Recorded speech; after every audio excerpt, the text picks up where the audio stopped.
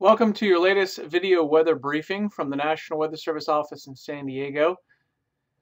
For this video, we'll take a look at a late season storm, another one, to bring precipitation and wind to the region. Look for strong winds in the mountains and desert slopes later this week. Then also widespread showers and even isolated thunderstorms for the end of the week, May 8th. This is Alex Tardy, meteorologist at the National Weather Service. Here's a look at the satellite imagery on May 5th. During the morning hours, you can see what we refer to as a very deep marine layer. It's all the way inland, and you can see just the mountain peaks sticking out, such as Palomar Mountain in San Diego County. This deep marine layer will be persistent through most of this week. It'll give way to a little bit of partial clearing in the afternoons.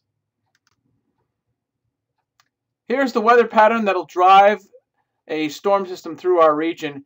The jet stream will carve across California and dive southward into Southern California as shown here before exiting on Saturday morning. This will bring a strong cold front through our region on Friday morning. We can expect most of our precipitation during Friday morning.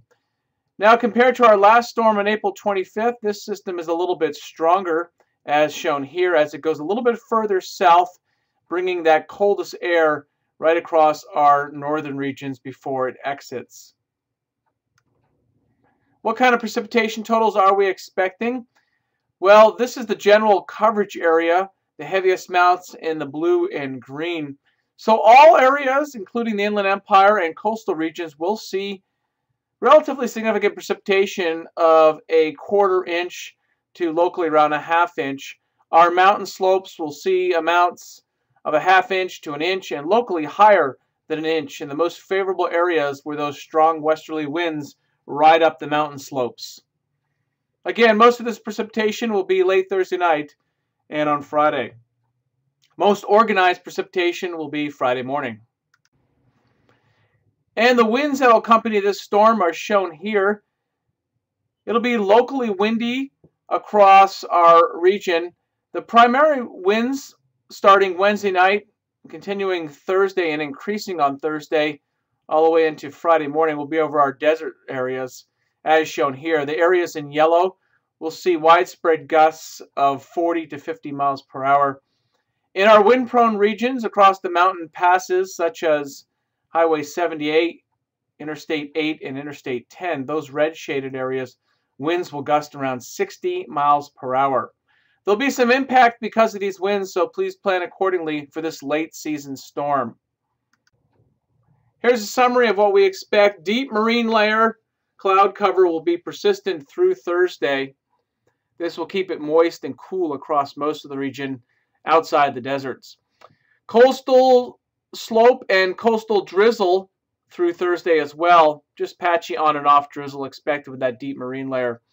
Increasing winds Wednesday night and Thursday for the passes and the desert slopes as the storm system approaches. Main precipitation late Thursday night and Friday morning. Those are the amounts. Most areas will see around two-tenths of an inch to a half inch. But note the western slopes of the mountains where the strong winds bank up and force that precipitation to be squeezed out will be locally greater than an inch. Also note a chance of thunderstorms for our northern areas on Friday. That'll also produce locally heavier rainfall up near the Cajon and San Gorgonio Pass and possibly the high deserts. We do expect partly cloudy conditions, but cool on Saturday. That's the day of the Weatherfest at the National Weather Service. What is the Weatherfest? Here's a flyer for the upcoming event on Saturday, May 9th. This is open all to the public and it's free of charge. There'll be numerous events going on. Some of the attractions will be the emergency vehicles and emergency communication system. For the kids, there'll be games and there'll be prizes. And also for the kids, Owlie Skywarn will be present. That's the National Weather Service mascot. This is an all hazards preparedness expo, so we'll also have information for the public on preparing for wildfires, tsunamis, and other type of hazards including earthquakes. Come check us out. If you can't make it, we'll also be on social media, NWS Fest 15. Hope to see you there. As a reminder, here are some links to check out for the latest weather hazards. Latest weather hazards found at top. And you also check us out on Facebook, Twitter, and of course, this is on YouTube. Thanks for joining.